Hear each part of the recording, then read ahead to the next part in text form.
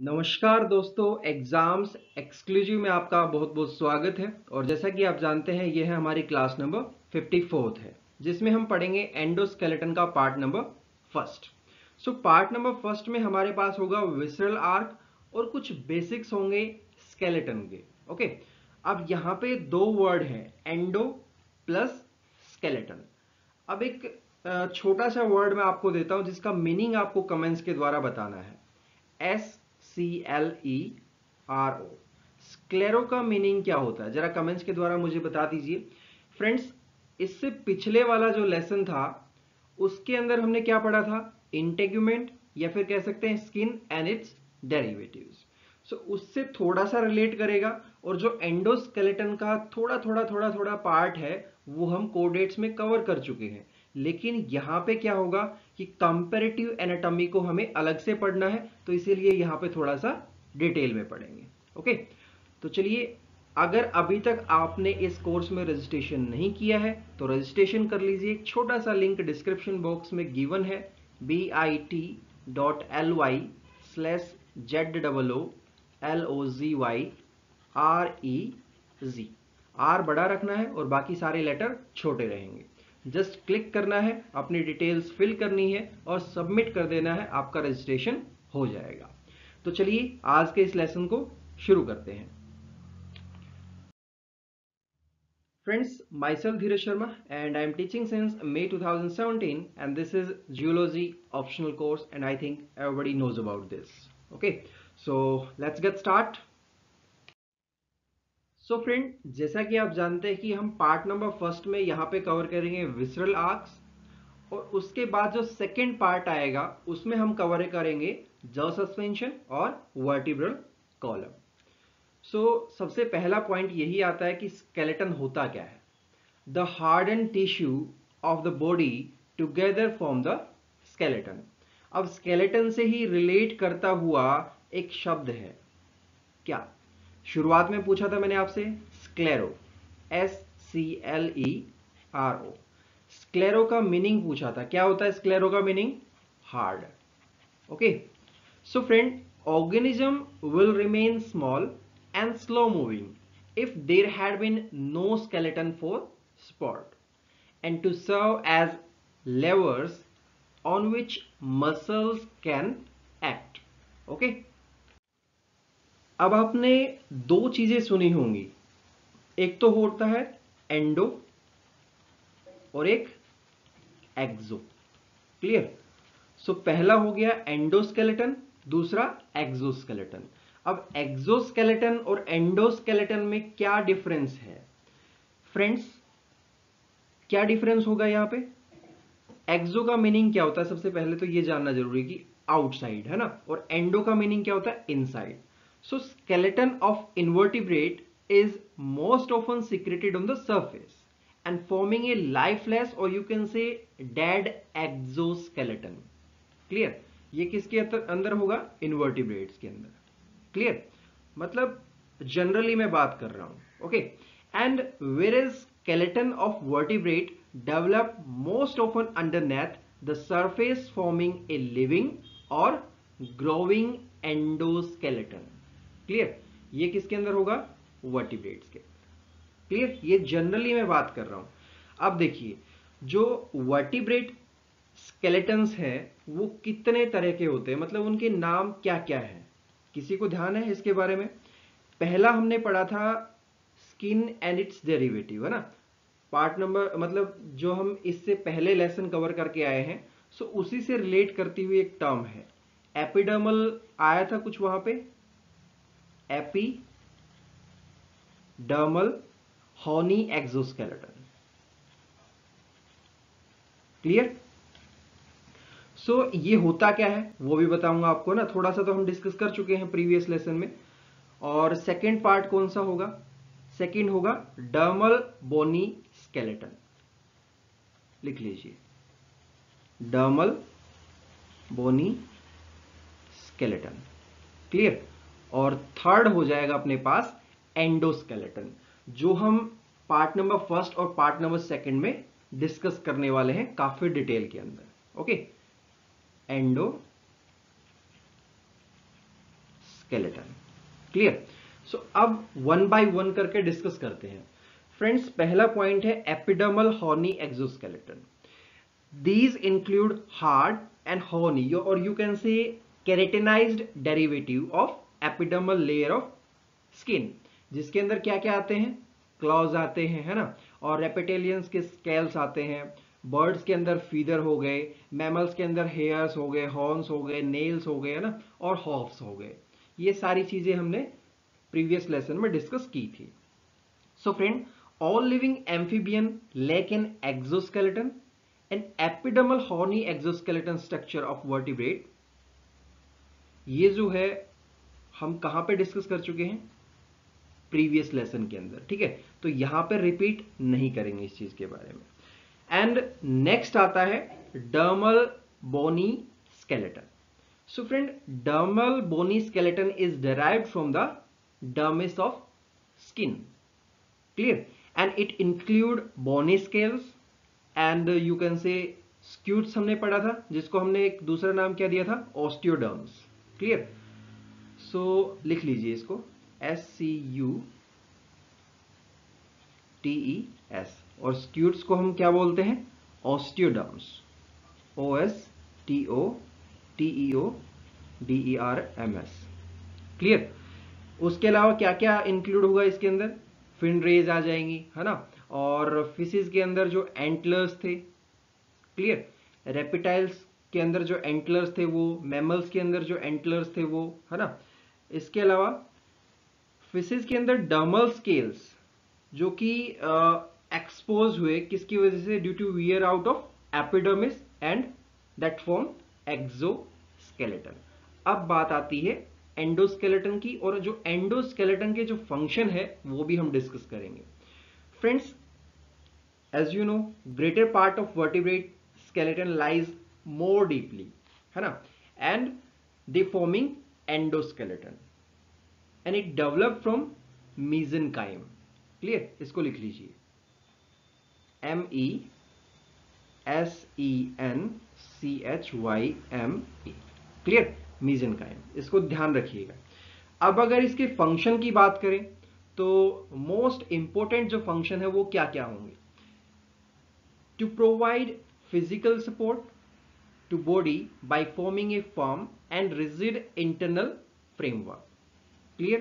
पहला point clear and to give definite body shape and form ये भी endoskeleton का ही फ़ंक्शन है या फिर कह सकते हैं चीफ फ़ंक्शन है ना important most important and friend it also protect by surrounding delicate internal organ like brain, heart, lung अब सोच के देखिए कि अगर एंडोस्केलेटन ना हो या फिर एक्सोस्केलेटन ना हो तो ब्रेन इतना तो हार्ड नहीं है, जितना मतलब हम अपने सर पे हाथ लगाते हैं तो इसके अंदर एक बोनी स्ट्रक्चर है उसके आउटसाइड है ना? इसी वजह से वो प्रोटेक्ट हो रखा है। अब अगर हार्ट का एग्ज़ाम्पल लेते हैं तो वो भी इसी तरीके से है है ना?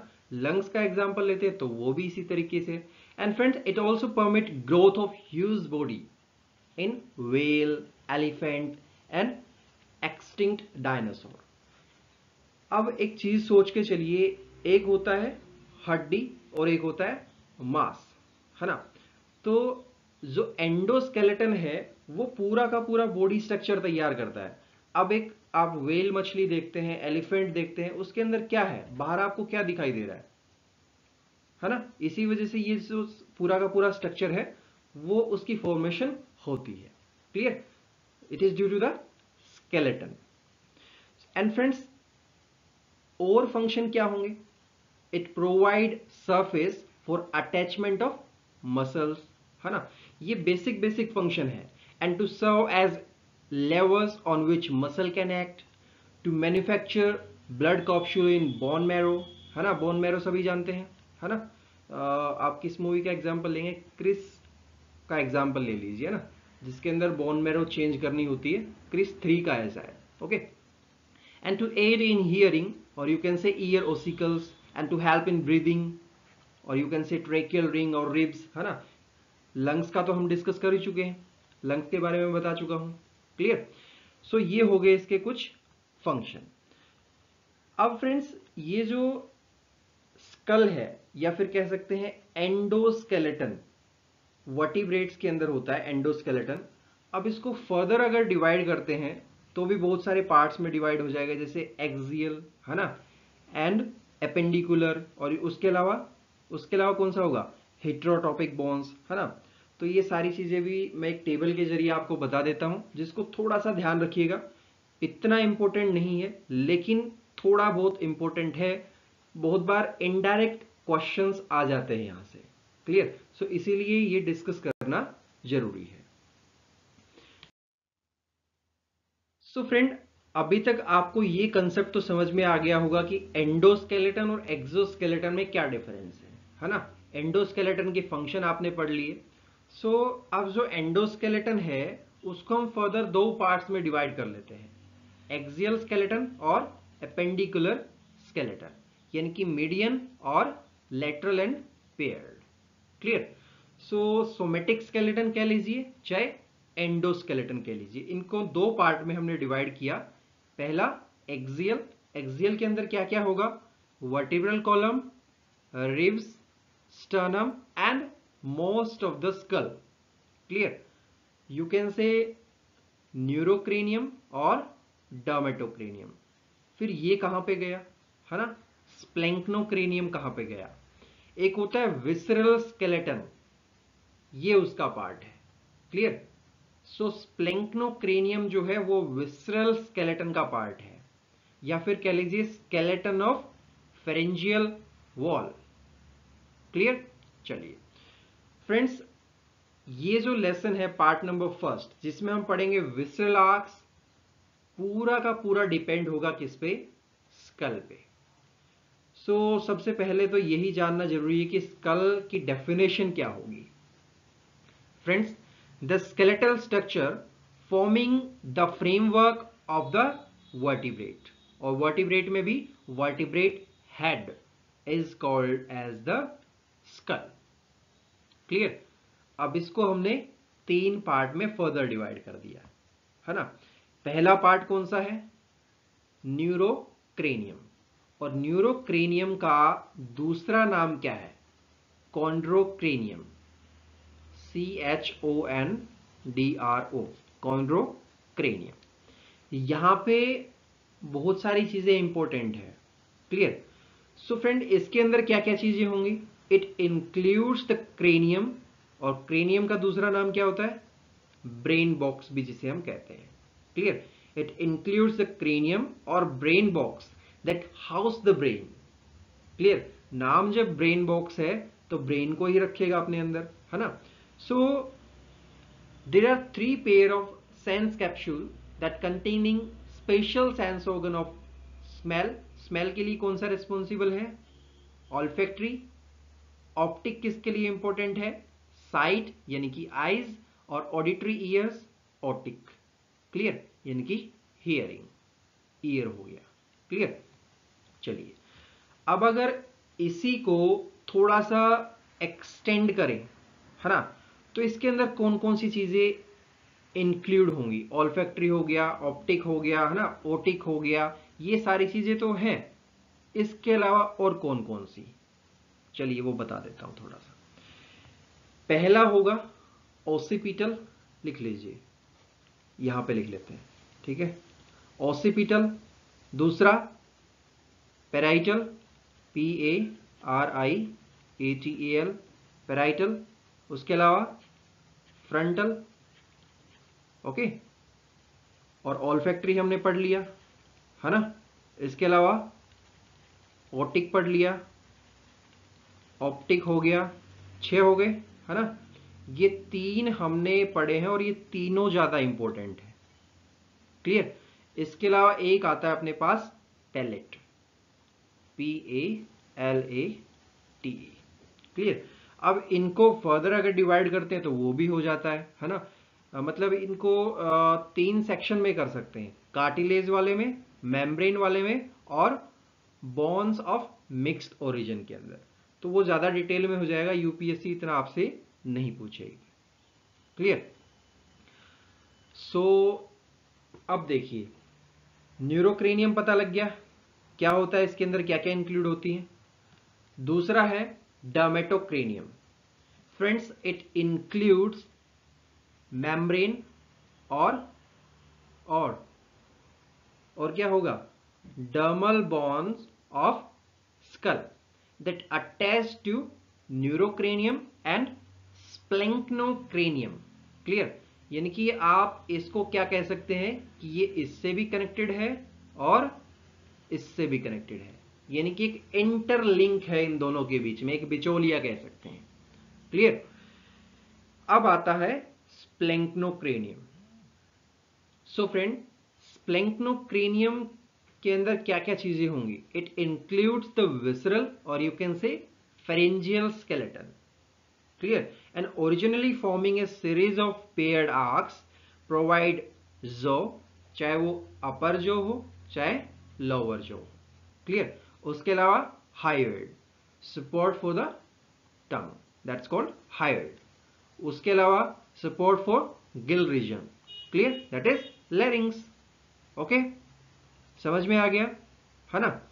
अब देखिए, जो स्प्लेंक्नोक्रेनियम है, इसके चार पार्ट हमने बताए यहाँ पे. अपर जो लोअर जो हाइड लेरिंग्स है ना? और you can say gill cover also so so, इसको भी आप इसी तरीके से डिवाइड कर सकते हैं। कार्टिलेज में कर लीजिए मेम्ब्रेन में कर लीजिए बॉन्स ऑफ़ मिक्स्ड ओरिजिन में कर लीजिए। इतना इंपॉर्टेंट नहीं है लेकिन यूपीएससी आपसे पूछती नहीं इसलिए मैं यहाँ पे वो चीज़ें डिस्कस नहीं कर रहा हूँ। ओके चलिए। अब फ्रेंड्स अगर बाई चांस आपसे पूछ लिया जाए किसी का डेवलपमेंट है ना? डेवलपमेंट ऑफ़ स्कल और स्कल के डेवलपमेंट में आपसे दो चीज़ें पूछी जा सकती हैं। सो so, वो थोड़ा सा इंपॉर्टेंट है जिसको आप थोड़ा सा नोट डाउन कर लीजिए। पहला तो होगा डेवलपमेंट ऑफ़ न्यूरोक्रेनियम कह लीजिए या फिर कॉन्ड्रोक्रेनियम कह लीजिए। सो so, अगर आपसे डेवलपमेंट ऑफ़ न्यूरोक्रेनियम पूछा गया तो आप एक वर्ड ध्यान रखिएगा। वो इंपॉर्टेंट है उसके अलावा जो दो चार लाइनें मैं आपको बताऊँगा, वो भी इंपॉर्टेंट है, वो भी आपको याद रखनी है। पहला शब्द होगा prechordals clear prechordals prechordals का मीनिंग क्या होगा? Friends a pair of curved cartilaginous plate that's called prechordals अब इसकी जो फॉर्मेशन है, वो कहाँ पे होती है? कहाँ पे होगी? That forms parallel to and below the forebrain clear parallel और below the forebrains is it clear चलिए।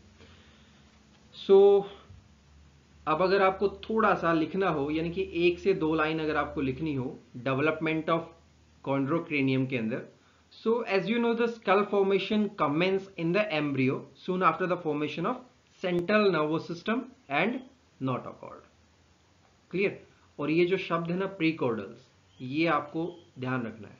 क्लियर ये इंपॉर्टेंट है आपके लिए। चलिए। अब आता है डेवलपमेंट ऑफ़ स्प्लेंक्नोक्रेनियम अगर आपसे ये पूछ लिया जाए तो क्या मेंशन करेंगे? देखिए, यहाँ पे एक थियोरी है, यानी कि एक कंसेप्ट है, वो आपको थोड़ा सा याद रखना पड़ेगा। क्लियर तो ये डेफिनेटली आप इसके बारे में लिख पाएँगे। Friend it develops partly from neural crest and from splanchnic mesoderm clear clear इसको ध्यान रखिए पहले तो। S P L A N C H N I C splanchnic mesoderm okay चलिए। And it includes the visceral और you can say pharyngeal skeleton that consists of a series of horseshoe shaped paired cartilaginous arc. जिसके अंदर क्या होंगे? कितने pair होंगे? Seven pairs clear and encircling and supporting the pharynx between gill clefts ये पूरा का पूरा कंसेप्ट है. Clear so the arch remain united and interconnected vertically but are free dorsally clear अब डेवलपमेंट ऑफ़ स्प्लेंक्नोक्रेनियम पूछ ले चाहे डेवलपमेंट ऑफ़ न्यूरोक्रेनियम आपसे पूछ लिया जाए एग्ज़ाम के अंदर तो डेफिनेटली आप लिख पाएँगे। क्लियर सो so, अब जो नेक्स्ट टेबल आएगी उसको थोड़ा सा ध्यान से देखना है है ना? क्योंकि उसी से रिलेटेड आगे चल के सारे के सारे कंसेप्ट होंगे विसरल आग के। जो कि हम इस लेसन के अंदर ही डिस्कस करेंगे है ना? सो so, चलिए डिस्कस करते हैं नेक्स्ट जो टेबल है उसके बारे में। फ्रेंड्स विसरल आग की ये जो टेबल है इसको थोड़ा सा ध्यान से देखना है क्योंकि यहाँ पे सारा का सारा कंसेप्ट ये है कि जो ए है वो बी के अंदर चेंज हुआ है ना? और बी सी में चेंज हुआ सी डी में चेंज और डी ई में, यानी कि ये मॉडिफिकेशन हुआ। और लास्ट में आपसे ये पूछ लिया जाए कि ये ई e क्या है? ई e और कुछ नहीं है ए का ही मॉडिफिकेशन है। क्लियर और ये चीज़ें मैंने आपको बताई भी थी जब हम रेपिटाइल्स पढ़ रहे थे, है ना? बर्ड्स पढ़ रहे थे और मैमल्स पढ़ रहे थे पाइसिस पढ़ रहे थे एम्फिबियंस पढ़ रहे थे। ये सारी चीज़ें वहाँ पे थोड़ी थोड़ी डिस्कस की थी। लेकिन यहाँ पे हम डिटेल में डिस्कस कर रहे हैं। सो so, सबसे पहले जानना ये ज़रूरी है कि विसरल आग क्या होती है। फ्रेंड्स विसरल आग आर पीस ऑफ़ कार्टिलेज और you can say bone that support the pharyngeal region of vertebrates and also help to attach the jaw with the skull है ना? This is all about visceral arch अब देखिए अगर आपसे ये पूछ लिया जाए कि विसरल आर्क के अंदर कितने पेयर हैं क्या बताएँगे? One, two, three, four, five, six और seven. Clear so there are typically seven pair of visceral arch in vertebrate which modified in different group depending upon the presence और absence of gills and type of जो suspension clear किस पे depend हो गया? समझ में आ गया? है ना? अब जो जो सस्पेंशन है वो हम डिस्कस करेंगे नेक्स्ट पार्ट के अंदर, जिसमें हम जॉ सस्पेंशन भी डिस्कस करेंगे और वर्टिब्रल कॉलम भी डिस्कस करेंगे। क्लियर चलिए। फ्रेंड्स अब जो इंपॉर्टेंट कंसेप्ट है, वो थोड़ा सा समझते हैं, लेकिन उससे पहले एक चीज़ जान लीजिए कि इतना आपको याद रखना है कि यहाँ से यहाँ गए तो क्या चेंज आए, यहाँ से यहाँ गए तो क्या चेंज आए, यहाँ से यहाँ गए तो क्या चेंज आए यहाँ से यहाँ गए तो क्या चेंज आए? और यहाँ से फिर लास्ट में हम मेमल्स पे आ गए तो क्या कुछ चेंजेस आए? है ना?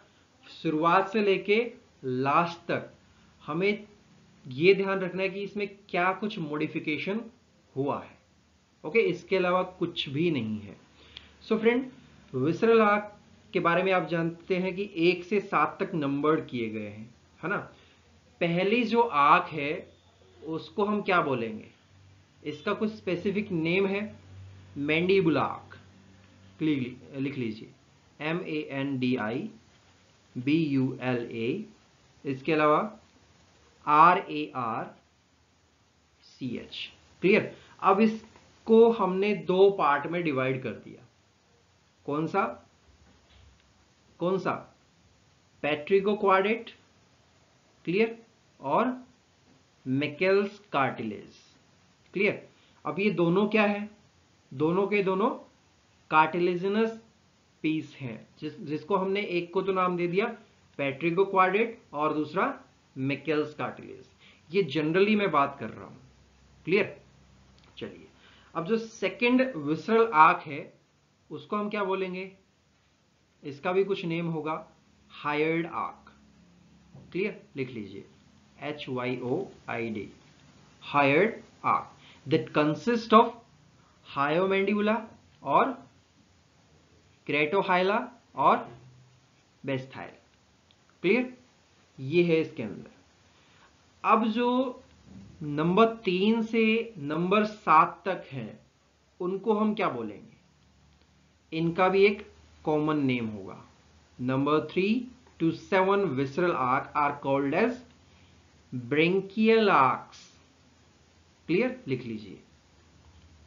B R A N C H I A L A R C H E S branchial arches since this sport gills and typically consist of four piece of cartilage, namely क्या क्या name होंगे भाई इसके?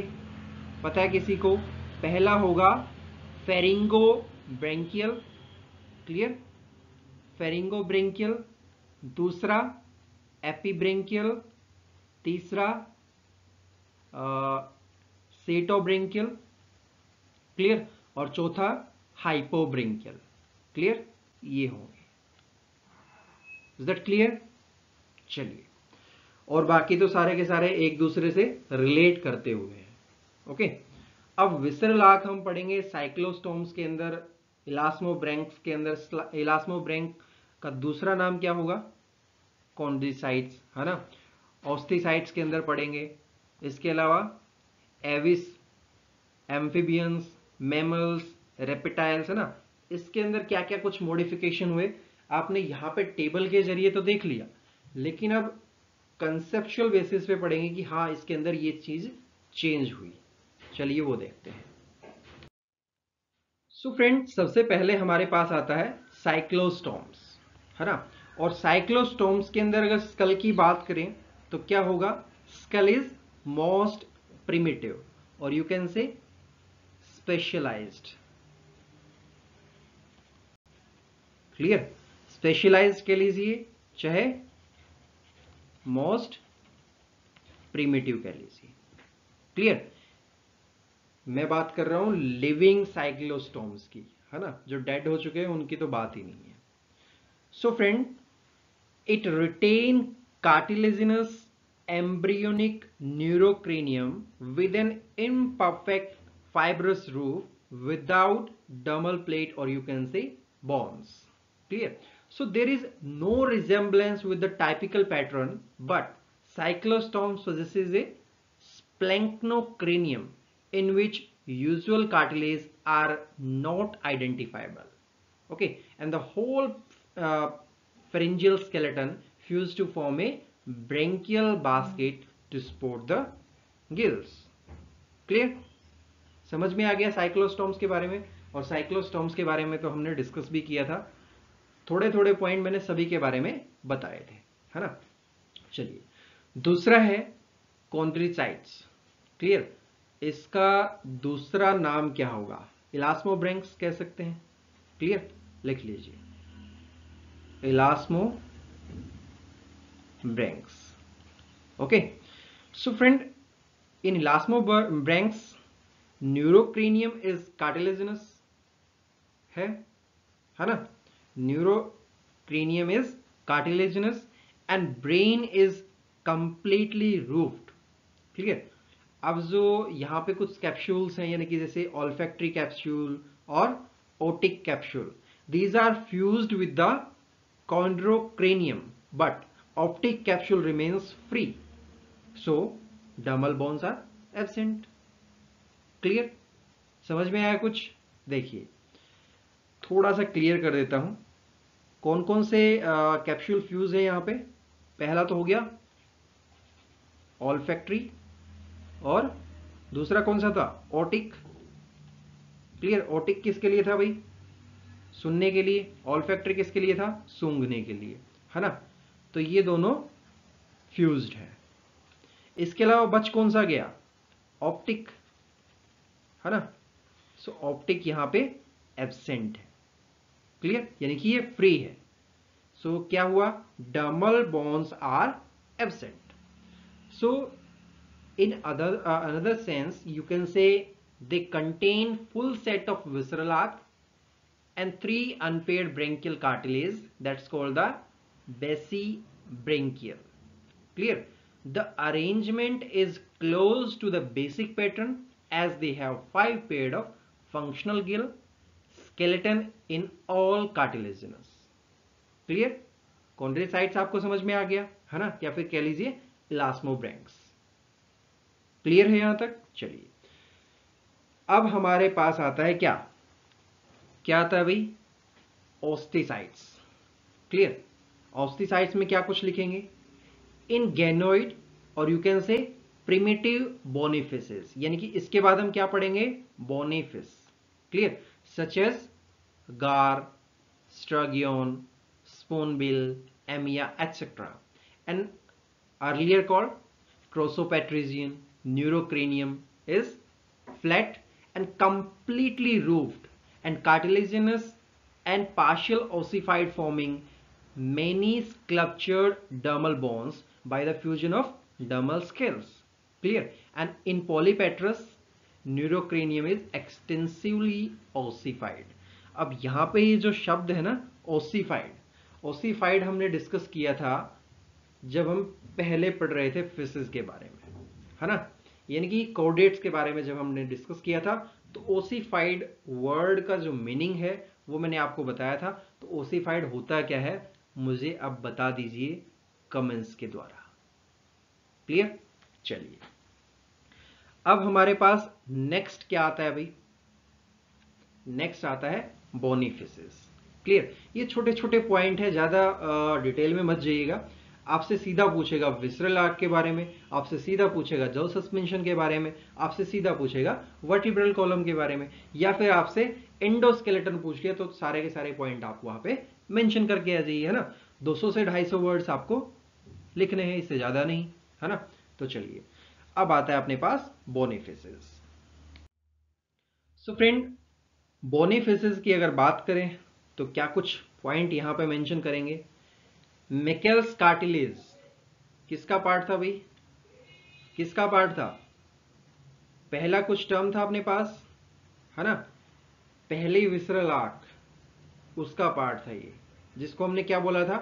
Mandible arch clear so Meckel's cartilage form articular and became part of lower jaw clear and hyoid arch is modified for the movement of operculum and functioning of the lower jaw clear अब ये जो है, क्या?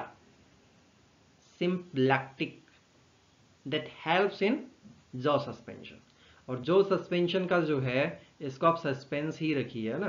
क्योंकि next part के अंदर ये cover होगा जो सस्पेंशन पूरा का पूरा. And friends last branchial saying of degeneration as the number of gill is reduce to the four pairs so ये इसके अंदर कुछ चेंजेस आए in comparison to previous three यानी कि आप कह सकते हैं स्कोलिडॉन और you can say dogfish clear अब जो नेक्स्ट आएगा एम्फीबिया और एम्फीबिया के अंदर भी देखिए दो थे नेक्ट्यूरस और फ्रॉग दोनों को मिक्स करके हम पढ़ेंगे। और मोस्टली हमारा जो फोकस रहेगा, वो फ्रॉग पे रहेगा। क्लियर चलिए।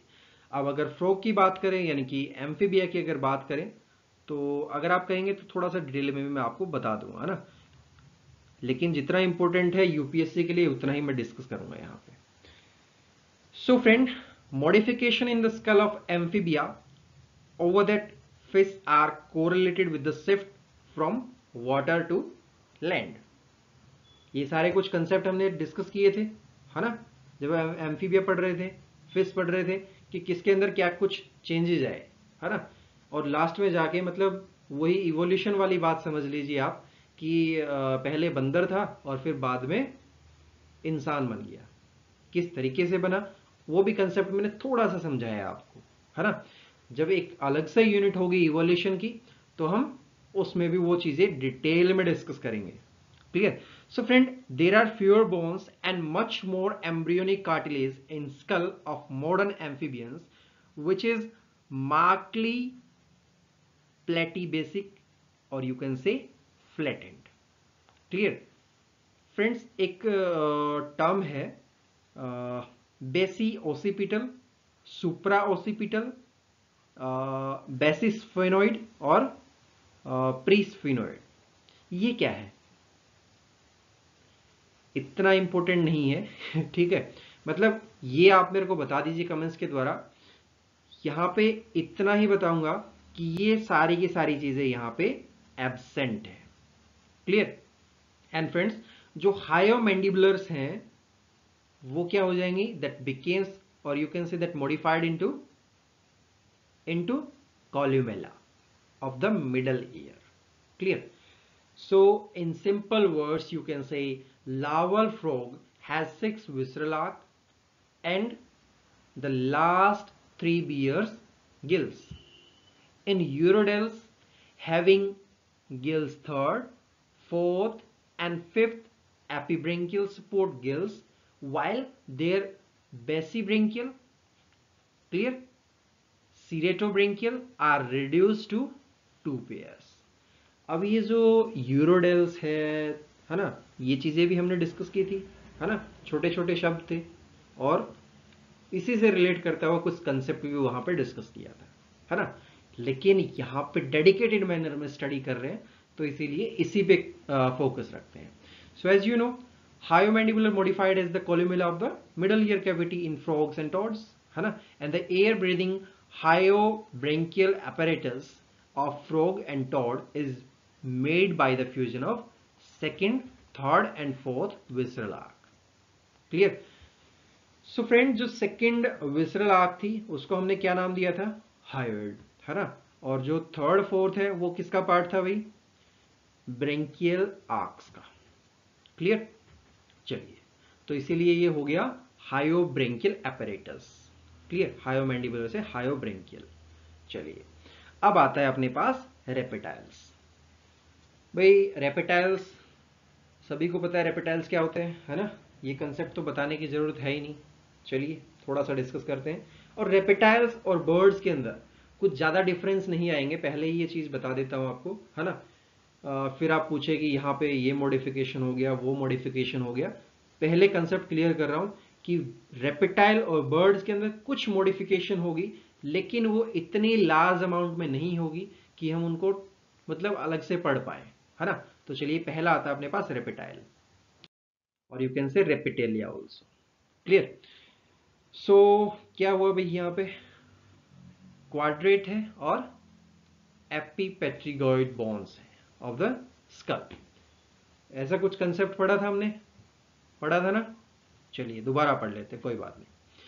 Friends as you know in modern reptiles neurocranium shows extensive ossification except in the naso ethmoidal region clear अब ये जो शब्द है ना नेसो एथमोइडल रीजन इसका मीनिंग बता दीजिए मुझे। है ना? क्योंकि, चलिए लिख लीजिए, फिर बता दीजिए ना। N A S O naso ethmoidal E T H M O I D A L ethmoidal region ये कौन सा रीजन होता है यार, है ना? जैसे एनसीआर होता है नेशनल कैपिटल रीजन इसी तरीके से होता है क्या ये? चलिए बताइए मुझे, है ना? ये रेपिटाइल से रिलेटेड है, बाहर नहीं घूमना किसी सराउंडिंग में। कभी मतलब किसी और से रिलेट करने लगो, है ना? So friend there is one occipital condyle and more dermal bone than in amphibia अब देखिए भाई एक चीज़ तो है ये हम एक ग्रुप से दूसरे ग्रुप में आएँगे कुछ तो मॉडिफिकेशन हुआ होगा कुछ तो चेंजेस होंगे इसीलिए हमने इन ग्रुप्स को इन क्लासेस को अलग अलग किया है है ना? सो so, अब जो स्कल है वो कैसी है? कैसी है भाई? Skull is skull is tropibasic ठीक है? लिख लीजिए। स्कल जो है वो ट्रॉपी बेसिक है। क्लियर है? है ना? चलिए। सो so, अब अगर बात करें quadrate and epipterygoid bone of the skull are the modification of pterygoquadrate clear समझ में आ गया? है ना? मतलब यहाँ से पहले ये था और फिर बाद में ये बन गया। क्लियर समझ में आया? And articular of the lower jaw is a modified Meckel's cartilage Meckel's cartilage है ना? ये फ़र्स्ट विसरल आग के ही पार्ट है है ना? और फ़र्स्ट विसरल आग को आप जानते हैं कि हमने क्या नाम दिया था? मैंडीबुल आर्क जिसके दो पार्ट थे पेट्रिको क्वाड्रेट और दूसरा मेकेल्स कार्टिलेज और ये दोनों के दोनों कार्टिलेजन स्पीसीज थे। क्लियर चलिए, अब बात करते हैं हायर्ड आर्क की। Friends hyoid arch forms a small hyoid plate that also extend forward to support the tongue and one of the two ceratobranchial may form posterior आगे posterior cornu of the hyoid plate is it clear ये concept तो आपके clear हो गए है ना? अब कुछ एक्स्ट्रा कंसेप्ट हैं वो आप लिख लीजिए। क्लियर सो so, क्या कुछ लिखेंगे? लिखिए। एक क्वाड्रेटो जगल होता है। देखिए। Q U A D R A T O J U G A L quadratojugal जो होता है वो एबसेंट होता है यहाँ ठीक है? इतना ध्यान रखना है। एंड फ्रेंड्स जो क्वाड्रेट है क्वाड्रेट ये मूवेबल है या इमूवेबल है? कैसा होगा ये? पता है किसी को इसके बारे में? पढ़ा है किसी ने? It is movable clear so quadrate is movable at both end showing streptostylism clear streptostylism and there is a tendency to form a turbinal element in nasal passages and to form a secondary palate clear clear है concept चलिए, बड़ी अच्छी बात है। Friends अब यहाँ पे देखिए, जो ओटिक रीजन था, है ना? और ऑफ़िस थॉइक का पार्ट है, एक ऑटिक रीजन उसके बारे में कुछ कंसेप्ट है, वो लिख लीजिए। प्रोटिक एपियोटिक और ऑफिस्थोटिक ऑफ़ ओटिक रीजन ये कैसे होंगे? तीनों के तीनों सेपरेट होंगे या फिर मिलजुल के रहेंगे? तीनों के तीनों सेपरेट होंगे।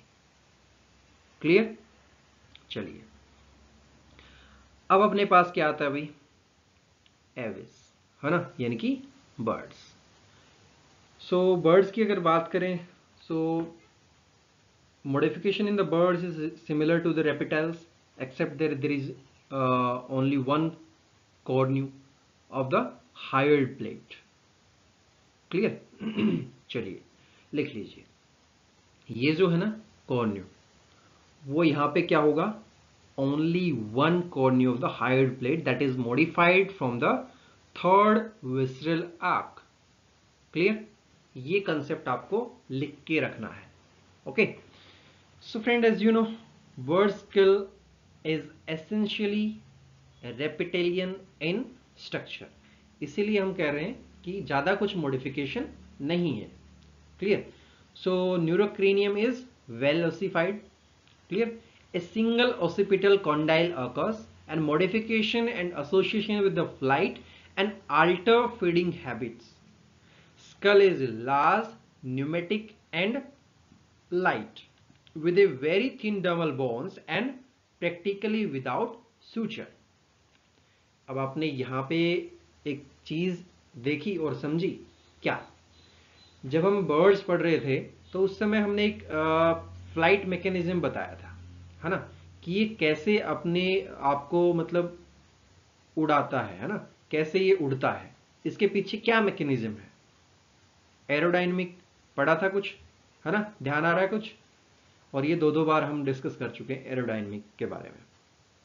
सो so फ्रेंड वो कंसेप्ट काफ़ी इजी है और काफ़ी इंपॉर्टेंट है। उसी से रिलेट कर लीजिए इसको कि जो स्कल है, वो लाइट क्यों होती है न्यूमेटिक क्यों होती है है ना? ये सारी चीज़ें। देखिए, अब आप एक इसी को रिलेट कर लीजिए किससे? चाहे तो एरोप्लेन से रिलेट कर लीजिए, चाहे बुलेट ट्रेन से रिलेट कर लीजिए। बुलेट ट्रेन का जो आगे का हिस्सा होता है वो कैसा होता है? ऐसे करके ऐसे होता है है ना? और फिर आगे ऐसे होता है। और जो प्लेन होता है वो उसका भी ऐसे ही होता है, लेकिन जो इंडियन रेलवे है, उसका कुछ इस तरीके से होता है ना?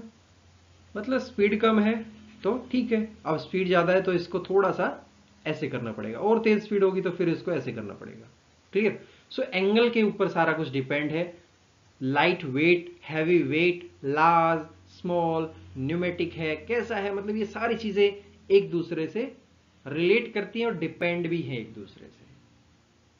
समझ में आ गया? है ना? चलिए। और कुछ कंसेप्ट है यहाँ पे। अगर ऑर्बिट्स की बात करें so orbits are large separated by thin interorbital septum and each with ring of dermal sclerotic bones clear and quadrate is quadrate is streptostylic clear है? यहाँ पे कैसा है क्वाड्रेट स्टेप्टो स्टाइलिक लेकिन रेपिटाइल्स के अंदर कैसा था? बताया था कुछ मैंने? कुछ बताया था? ध्यान आ रहा है कुछ? चलिए ध्यान कीजिए। अब एक चीज़ ध्यान कीजिए कि मैंने शुरुआत में आपसे कहा था कि रेपिटाइल्स और एविस के अंदर कुछ ज़्यादा कुछ डिफरेंस नहीं है। तो यहाँ पे जब क्वाड्रेट स्टेप्टोस्टाइलिक है तो वहाँ पे भी स्टेप्टोस्टाइलिक होगा, है ना? सीधी सी बात है। And friends lower jaw has one cartilage bone और you can say articular and four dermal bones clear तो ये सारा कुछ कंसेप्ट है इसका। इससे ज़्यादा कुछ भी नहीं है क्लियर और यहाँ पे एक छोटा सा चेंज है, क्या? सिर्फ़ किसमें चेंज होगा? Only one cornue of the hired blade that is modified from the third visceral arc. That's it. इसके अलावा कुछ भी नहीं है। ओके चलिए अब मेमल्स पढ़ लेते हैं ना? क्योंकि मेमल्स भी हमारे लिए इंपॉर्टेंट है। सो so, मेमल्स में क्या कुछ कंसेप्ट इंपॉर्टेंट मानते हैं और क्या कुछ चेंजेस होंगे? चलिए देखते हैं। फ्रेंड्स मेमल्स के बारे में सभी को पता है है ना? मेमल्स किसे कहते हैं? हम मेमल्स हैं? बिल्कुल है। Okay so friend mammalian skull has two occipital condyle and a condition inherited from the ancestral synapsid reptiles clear and prefrontals postfrontal transplatine supraorbital postorbital है ना एंड यू कैन से पैरास्फेनोइड और इसके अलावा quadrigeals, quadrates and all lower jaw bone except dentatory are absent. Clear ये सारे कुछ नाम लिए हैं मैंने। ये सारे के सारे एबसेंट है। अगर ध्यान रखना है तो रख सकते हैं, नहीं तो कोई दिक्कत नहीं। जो प्रेजेंट है, उनको ध्यान रखिए। Clear okay so friend Petrigo quadrate breaks Alice sphenoid and incus. The former becomes part of the skull. And later joins the ear ossicle. Clear कुछ थोड़ा सा कंफ्यूजिंग हो गया ना? देखिए pterygoquadrate breaks into alisphenoid and incus the former becomes the part of skull and later join the ear ossicle and as you know Meckel's cartilage ये दोनों एक ही विसरल आग के पार्ट थे. So Meckel's cartilage modified into malleus and hyomandibular into stapes of the middle ear cavity clear middle ear cavity का concept किसी और के अंदर भी था, है ना? किसमें था भाई? हमने कुछ पढ़ा था मिडल ईयर कैविटी का कुछ कंसेप्ट ध्यान आ रहा है कुछ? ध्यान आ रहा है कुछ? चलिए, ध्यान करते रहिए मतलब वो काफ़ी इंपॉर्टेंट है, ठीक है? वो मैं आपको पहले एक छोटा सा कंसेप्ट उसके बारे में बता चुका हूँ ना? यहाँ पर रिलेट करने की ज़रूरत नहीं है उसको। चलिए। एंड फ्रेंड्स लेरिंग्स की अगर बात करें so larynx of mammals evolve from the fourth and fifth visceral arches clear ये आपको ध्यान रखना है कि कौन सी चीज़ें, कौन सी विसरल आर्क से मॉडिफाइड हुई है या फिर इवॉल्व हुई है। कहाँ से मॉडिफिकेशन हुआ है, कहाँ से इवॉल्व हुई है।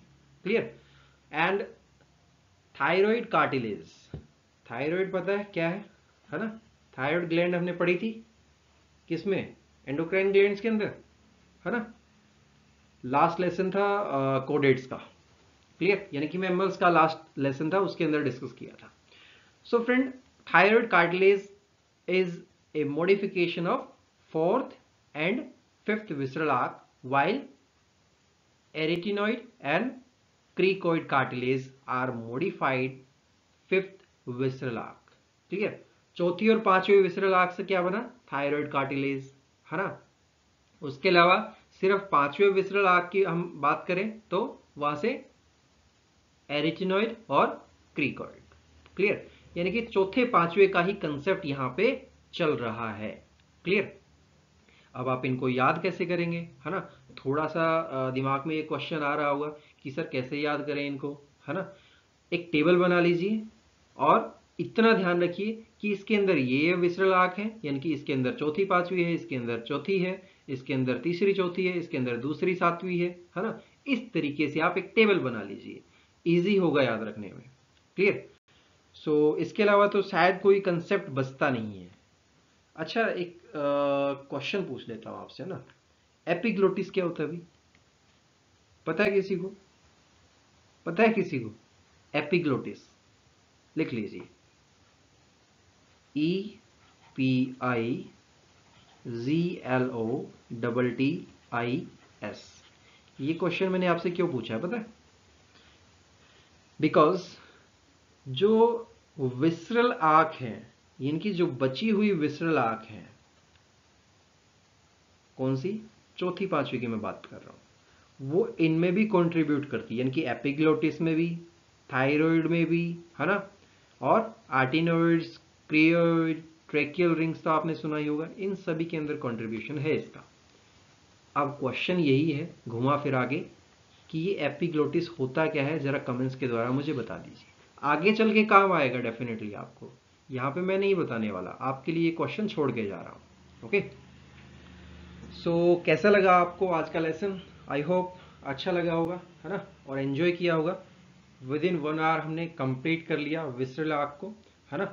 और जो नेक्स्ट लेसन है, उसमें हम क्या कुछ डिस्कस करेंगे भाई? क्या डिस्कस करना है? यही होगा एंडोस्केलेटन का ही पार्ट लेकिन जॉ सस्पेंशन और वर्टिब्रल कॉलम और आज के में हमने बेसिक डिस्कस किया और विसरल आग के बारे में डिस्कस किया। Okay so that's all from this lesson thanks for watching this thank you very much and have an awesome day